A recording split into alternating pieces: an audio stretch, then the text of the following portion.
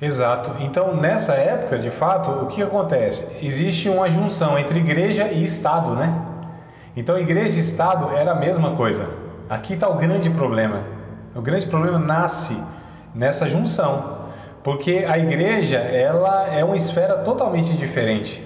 Né? Igreja é algo à parte. A igreja tem que ser governada é, pelos princípios bíblicos e o Estado ele tem que ser laico, no sentido que não pode haver, né, numa democracia como a nossa, por exemplo, não pode haver uma imposição religiosa sobre os cidadãos. E aqui acontece então essa jogada política né, do, do Constantino e vira uma bagunça, porque há uma mistura entre igreja e Estado. E isso vai perdurar por séculos e séculos. Então nós estamos falando do ano 313, olha só. Isso por séculos, é que nós vamos estudar, na verdade, aqui nessa matéria, a história da igreja antiga e medieval. A gente não vai chegar nos tempos de hoje e nem vai passar do, do da reforma, que é o ano 1517, né? Então talvez a gente chegue lá no ano 1570 e 80, mais ou menos isso aí. Depois a gente tem outra matéria que vai dar continuidade, aí nós vamos estudar a igreja moderna e contemporânea. Aí sim a gente vai pegar essa segunda etapa. Mas a gente vai chegar hoje, inclusive, até para entender, né? É, de toda essa questão que você pontuou aí, Robson. Mas só para a gente é, dar continuidade aqui, então, onde eu parei. Então aqui começa essa, essa é, é o início histórico da, do cristianismo. Então por isso que a gente fala, o cristianismo é uma coisa, a história do cristianismo é uma coisa, a história da igreja é outra. A história da igreja contém a história do cristianismo, mas a história do cristianismo é, é posterior à história da igreja. Então alguns entendem, não, a igreja católica apostólica romana foi a primeira. Não, claro que não. A gente já viu agora que é no ano 313. A igreja de Jesus já existia há 300 anos, né? quando surge então essa igreja oficial do império, essa igreja mais política do que propriamente a questão do evangelho. Então, a gente já aprendeu, olha só, a gente já aprendeu que nunca deu certo, né? Essa questão de você juntar, de você ter em uma mesma esfera a, a igreja de Jesus e a, o controle ou a proposta, né? é, o governo do Estado. Nunca deu certo e nunca dará certo, porque a igreja é algo distinto. A igreja é um projeto de Deus. A igreja ela é constituída de pessoas regeneradas, salvas, que servem a Deus e que têm um propósito totalmente diferente, amados. O Estado é outra coisa, né? E aí a gente viu então lá no ano 313 que não deu certo porque hoje é o que se deu à igreja todas as vezes que a igreja quis interferir no Estado e vice-versa, isso deu ruim, né? como diz aí o, é, o teólogo refinado, deu ruim. é. Uhum.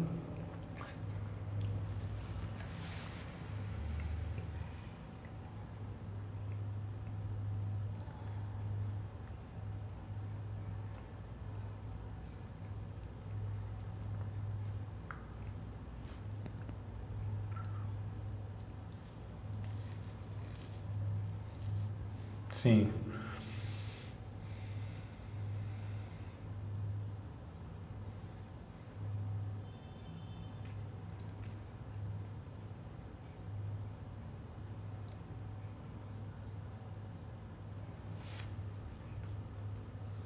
Exato.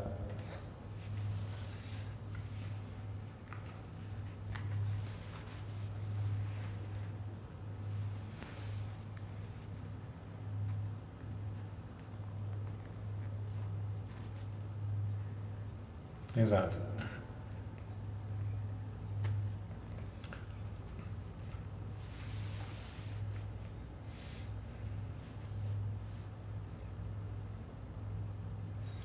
Exato. É, é, que a gente tem que ver assim, o Antigo Testamento é uma outra configuração, né? O Antigo Testamento, o rei, ele era um representante de Deus. Ao mesmo tempo que ele era um monarca, que ele era um governante, ele também era aquele. Porque a gente está falando de uma nação específica, que é Israel. Então aqui há outros parâmetros, há outro propósito histórico e há outros moldes. Né? Então Israel é a parte. Agora, quando a gente chega, como você perguntou, na época de Jesus, qual era a igreja? Bom, a gente é, sabe que tem a religião judaica, que necessariamente não era a, a, o povo que fazia a vontade de Deus, que pregava a verdade de Deus. Tanto é que Jesus veio criticando aqueles homens que, de fato, eles, é, eles usurparam, eles assim tomaram de assalto, na verdade, né, o templo, os sacerdotes corrompidos né? Eles, inclusive, tinham seus interesses pessoais e aí Jesus vem criticando. Olha que coisa interessante, amados. Como começa o Novo Testamento? Onde Deus está no Novo Testamento? Não está nos templos, não está em Jerusalém. Quem é o sacerdote de Deus ali no Novo Testamento? Não é Anás, nem Caifás. Então, onde estava Deus e quem era o sacerdote de Deus? Deus estava no deserto. Quem era o sacerdote de Deus? João Batista. Então Deus não está no templo, porque o templo está corrompido. O templo está cheio de corruptos, ladrões. Jesus não falou isso? Vocês fizeram aqui da, da casa de Deus um convívio de ladrões. Vocês fazem comércio aqui. O Anás, o Caifás. Primeiro, tinha dois sumos sacerdotes. É Lucas que vai dizer isso. Tinha alguma coisa errada. Porque ou você, você tem um sumo sacerdote, você não tem dois sumos sacerdotes. Não pode ter. É contradição de termos. Sumo é o máximo, é o, o principal. Como você tem dois? Então, no Antigo Testamento, quando um é, jubilava, entre aspas, né? Porque tinha seu exercício lá de 25 anos e tal, é, vinha outro sumo sacerdote. A nação só podia ter um sumo sacerdote. Ali tinha dois. Tinha uma questão errada já. Então Lucas está denunciando. Uma questão errada aqui. O Anás, a raposa velha, né? Um cara também ali que não queria deixar o ossinho dele. e tal. E aí o, o, outro que é mais manipulado por ele, né, que é o Caifás, que é o que julga Jesus, aquela coisa toda. Mas o, sumo, o sacerdote de Deus, né, a voz de Deus, era o João Batista, que de fato era da linhagem sacerdotal. Onde estava Deus? No deserto, não estava no templo. Tanto é que o povo ia ouvir lá Deus no deserto. Perguntaram, João, tu és o Cristo? Ele disse, eu não. Quem tu és então? Eu sou a voz daquele que clama no deserto. Então quem que estava clamando no deserto? Deus. Estava chamando o povo de lá, porque não estava no templo. Então essa religião judaica estava corrompida. Jesus denunciou isso muitas e muitas vezes. Acaba o, o, o Novo Testamento acaba em Apocalipse lá. Onde está Deus? Está fora da igreja. Não é? Capítulo 3 de Apocalipse, verso 19 ou 20, acho que é o 20, vai dizer assim: Eis, Jesus, eis que estou à porta da igreja de Laodiceia Eis que estou à porta e bato. Se vocês abrir a porta, deixar eu entrar aí, olha que coisa absurda, irmão. Quer dizer, o povo está na igreja, Jesus fora da igreja, batendo para entrar. Se vocês deixarem entrar, vai ter uma ceia, vai ser um negócio fantástico. Como Jesus falando, vocês estão fazendo aí, aí dentro, não era para mim, por que, que eu estou fora? Então a gente percebe, né, como que o homem tem essa tendência de estar expulsando Deus, expulsando Deus. Né? Esses homens que têm um interesse, igreja, amado, é totalmente a parte de propostas humanas. É por isso que eu disse, hoje, muitas vezes, o que nós temos não tem nada a ver com a igreja de Jesus. Que tem a igreja de Jesus dentro desses templos, eu não tenho dúvida. Que tem pessoas salvas dentro desses templos, fato. Agora, a gente é, achar que as denominações e esses prédios, eles representam e eles contêm 100% de pessoas salvas, que é a Igreja de Jesus, aí é outra história, não é? Então a gente percebe que aqui houve essa intromissão, né, do paganismo e, e uma, ao longo da história houve a Igreja Universal, a Igreja Católica, por isso que é chamada de católica, porque é universal, palavra católica quer dizer isso, né? Católica Apostólica, porque Roma aí assumiu, os papas vieram depois, como sendo sucessores de Pedro, dizem eles que Pedro foi o primeiro papa, então houve a, a sucessão né, papal aí, que era a sucessão de Pedro. Então houve uma igreja mundial que era do Império Oficial, que era a Igreja Católica Apostólica Romana. Nessa igreja, ou seja, é, no contingente dessa igreja, estavam os homens e as mulheres de Deus, estava a igreja de Deus também aí. Né? Mas a gente já percebe que já não era aquela igreja pura, aquela igreja que havia lá as pessoas lá com os seus valores, os seus interesses e as suas vidas, né? é, compartilhadas do Evangelho, que veio de Atos até esse ano 313, 312, 313. Então aqui come, começa já séculos e séculos, tá? E aí vai começando a surgir então a questão da formação da Bíblia nessa questão. Então entra a igreja de fato e os chamados pais da igreja, ou seja, aqueles que começaram a despontar como líderes da igreja, a igreja de Cristo, então houve os concílios. Lembra que eu falei dos concílios e teve o primeiro lá em Atos capítulo 15? Para decidir como seria o rumo da igreja na questão doutrinária? Vocês lembram dessa aula? Acho que foi a primeira aula. Foi Atos capítulo 15, primeiro concílio. Houve agora aqui o segundo concílio, no ano 325. Então um pouquinho depois da... É, 12 anos, né? 12 anos depois dessa, dessa mescla e desse nascimento do cristianismo histórico. Então 12 anos depois houve lá um presbítero chamado Ário, né? de Alexandria, se não me falha a memória, no Egito. Então ele dizia assim que Jesus ele não, não era Deus, Jesus não era Deus, tinha nada a ver com Deus e tal. E aí então houve a necessidade de os, os é, o povo de Deus, a igreja de fato, né? é, agora começar a combater essas heresias. Os apóstolos já não existiam mais, mas havia as cartas de Paulo, né? havia os evangelhos escritos, havia, enfim, todo o Novo Testamento. Então foram se reunindo para fazer então o chamado cânon, né? o cânon cristão, que é a averiguação de quais livros de fato eram sagrados e inspirados por Deus. E aí usaram os critérios não vou falar agora porque isso é mais a matéria bibliologia, né? Só para dar um resumão aqui. Então foi formado nesses três primeiros séculos, é, aliás, mais para frente um pouquinho, se alongou um pouco, mas três primeiros principalmente o cânon, ou seja, os textos bíblicos que eram considerados inspirados. E muitos foram colocados de lado, que depois a Igreja Católica, depois lá na época de Martinho Lutero, vai pegar esses livros que eram a, a Igreja Católica chama de deuterocanônicos, ou seja, um segundo cânon, né? A Igreja protestante, a Igreja evangélica chama de apócrifos, né? Pseudo-canônicos, são falsos. Que aí, quando você pega a Bíblia, a Bíblia católica, por exemplo, você tem lá 12, se não me falha a memória, livros a mais, né? 12, 14, agora me fugiu da mente exato. Mas você tem isso a mais. Por que, que eles pegaram esses livros e introduziram? Alguns têm informação histórica, como Macabeus 1, 2, 3, 4. Né? Tem alguns livros lá que eles têm informação históricas, mas não são inspirados.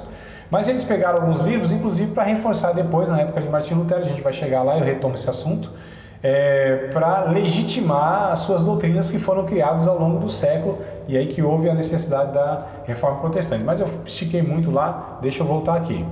É, o que acontece no 325? Então esse, esse presbítero, né, esse bispo aí é, de Alexandria, o, o Ário, ele dizia que Cristo não era Deus. O Tertuliano, um outro presbítero, ele defendeu então, ele foi defender a doutrina da, que a gente chama hoje de Cristologia, né, doutrina da divindade de Cristo. Eu vou mandar para vocês depois lá no grupo, tá? O concílio de, de é, eita, de Niceia, estou confundindo aqui com o de dentro. O concílio de Niceia, que é nesse ano 325, onde ele, o, esse presbítero, ele defende, né, eles têm um embate, tá certo? O Ário e o Tertuliano, eles têm um embate, as discussões e tal. E isso a igreja presente, né? É um grupo de líderes e tal, né, que se despontam e eles então vão discutindo essa questão. Então esses dois é o que se opõem um ao outro, um dizendo que Cristo não era Deus e o outro foi então defender pelas escrituras a divindade de Cristo. Mas para ele defender a divindade de Cristo, ele teve também que expor a doutrina da Trindade. Aqui que surge esse termo, amados. Tá? Esse termo não existia até então. Ele não é bíblico no sentido que não está na Bíblia, na Bíblia, né? A palavra Trindade ou triunidade, né? Que é a, a divindade em três pessoas. Então ele vai falar que Jesus era Deus, ele prova lá pelos textos bíblicos né? Deus de Deus, luz de luz. É muito interessante, eu vou passar para vocês, não vou narrar, primeiro que eu não lembro de todo o texto, que é um bocado de coisa, e, segundo que eu, eu prefiro que vocês lá conheçam todo o texto, peguem lá o, o que de fato foi esse concílio de Niceia, o segundo concílio da igreja é, cristã aí na história, tá? 325. Então o Tertuliano ele cunha essa palavra chamada de trindade, trindade, né? Hoje nós chamamos de triunidade, mas é trindade, ou seja, três divindade. Não são três deuses, porque aí a gente vai vendo que muitas heresias vão surgindo, como o molinismo, é, a, esqueci o termo do outro lá, mas que dizia que o Espírito Santo, por exemplo, não era Deus, unicismo, unicismo, tá? Unicismo que é a Igreja Voz da Verdade, inclusive, né? A Igreja Voz da Verdade, eles são unicistas. Isso é herético, amados. Tá bom? Isso é grave. Não é um ensinamento periférico, não. Isso é grave. Então, a Igreja Voz da Verdade, que é uma igreja muito conhecida pelos seus cantores, né? As músicas que nós cantamos e muito ainda continua cantando. Então, eles são unicistas. Isso é grave. Isso é heresia braba. Isso interfere na salvação, né? Diga, Barão, tu quer dizer alguma coisa?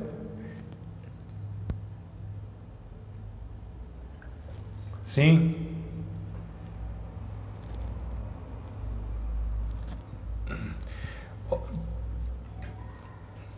Uhum.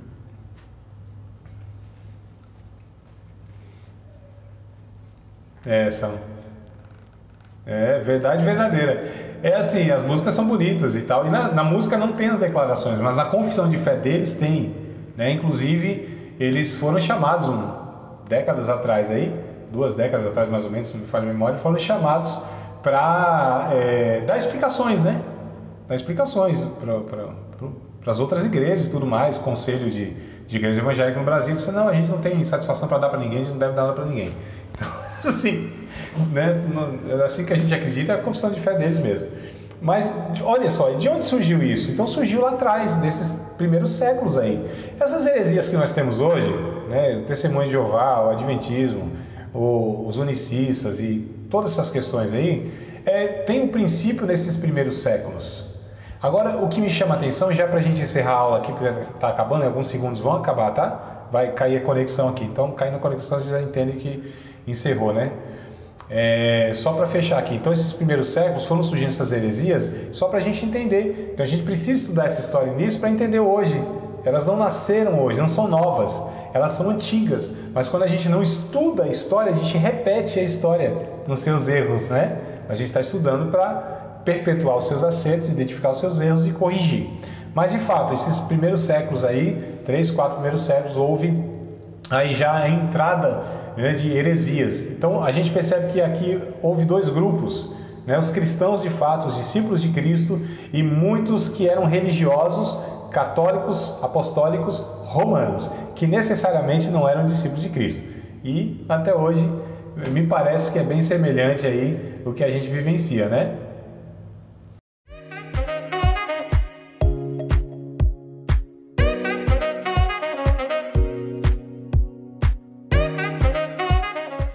Seja bem-vindo ao Seminário de Teologia e Vida Cristã Palavra da Vida. Você está em mais um curso de teologia cuja proposta é fazer alargar o seu conhecimento na área teológica, um curso descomplicado, contextualizado, provocativo, reflexivo e que faça sentido para a nossa vida cotidiana, porque entendemos que não só a construção conceitual da teologia, respeitando as correntes da teologia construída nesses quase dois mil anos, mas isso só não é suficiente. Nós pretendemos que, a partir do entendimento bíblico, dos conceitos esclarecidos, nós possamos reproduzir isso em uma espiritualidade no nosso cotidiano e nas relações. Seja bem-vindo a mais uma aula do curso de teologia do Seminário Teologia Palavra da Vida.